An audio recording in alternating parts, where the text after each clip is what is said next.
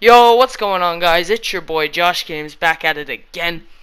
And as is with tradition on this channel, we're making a video for the start of Season 4, which was today, the year of the tiger. The season's modeled after Chinese New Year. I know this uh, background gameplay isn't in Season 4, but I just basically wanted to discuss what my thoughts are on the season and just what it's going to look like for 2K on this channel for this season.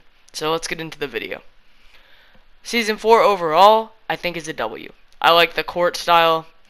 Cool vibe it's giving off. I like the Chinese New Year. Hopefully they do some new events.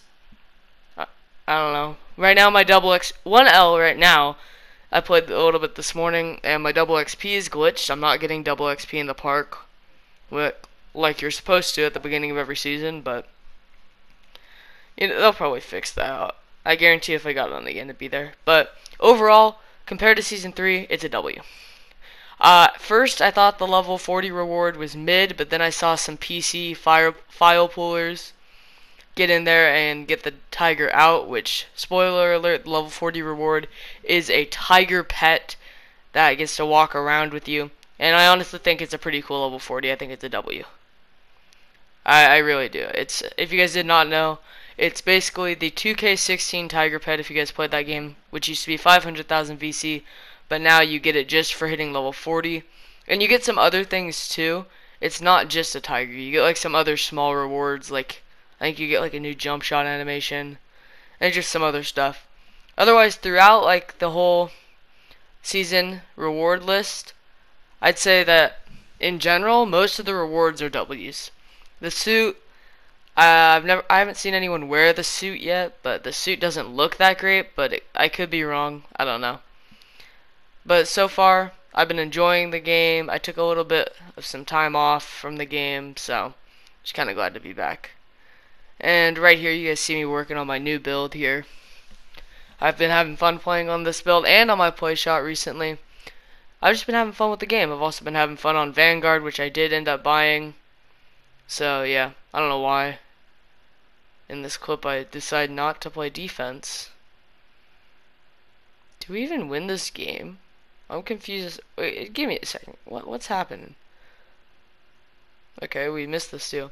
I don't know, but yeah, I'm liking season four. I am definitely excited to see the first legend, see what the legend reward is. I honestly, in my opinion, I don't think it's gonna be uh 10 badges like it has been in the past because they're doing plus one badges every season, which is again level 39 is plus one badge. I don't think that they'll be doing 10 badges at Legend. My guess is mascots and some other things, maybe unlimited Gatorade or like better stamina or something. I don't know. I yeah, I really have no idea. I'm excited to see people hit legend for sure. I'm sure there'll be legends by the end of tonight. So there'll definitely be a video with some Season 4 gameplay and update you guys about Legend Rewards and what I think about the Legend Rewards when those get revealed. But yeah, I mean, I'm excited for this season, for sure. Like I say every season, level 40, if I hit it, I hit it. If I don't, I don't. I don't really care that much. Not that big of a deal to me if I hit it or not. But yeah, I think the reward's definitely worth grinding for.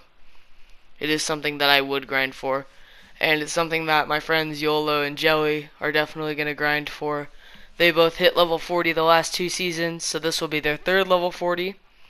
Which, yeah, actually, I never checked out. When you hit level 40 three times, one of the quests is the career quest. You get to get the executive suite for the My Court. I haven't actually seen anyone with the executive suite yet or like I know people have it, but I haven't seen the executive suite. So I'll check that out and give you guys that. And then when YOLO and Jelly unlock it, I'll be able to see it firsthand by joining theirs. I still have yet to hit level 40. Last season, I hit level 29. I really didn't enjoy 2K last season, and it's not just because not because of the season or the reward or anything. I was just kind of bored of the game, so I played some other things. And yeah, that's just my mentality. If I'm not having fun, I'm not gonna grind the game.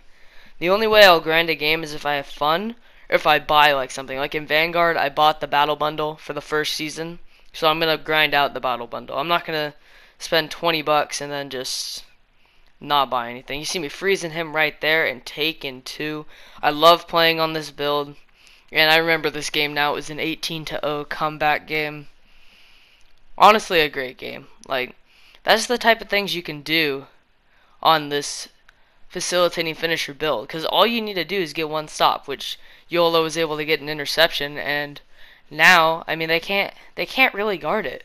With him on a popper, they have to guard up. With him being able to finish, they have to guard low. I can shoot and finish. I have playmaking takeover, making him stumble. Like, it's unbeatable. Even there, like, I'm missing that shot because Limitless Takeoff decided not to activate. But you guys already know. It wouldn't be in the video if that guy didn't sell the game. And that's green. You already know. They had to guard up on me. That's the thing that is so dangerous about this build. You can shoot, you can finish, you can play good enough defense to get a stop, and you can dribble with it maxed out. Like, it's pretty. You see, even there, like I get swatted, we get the ball back. They have team takeover. It doesn't matter. Pump faking in the paint. I'm still trying to get used to the finishing on this build. I don't get dunks every single time. But yeah, season 4, as it is right now, W. You guys should play it for sure.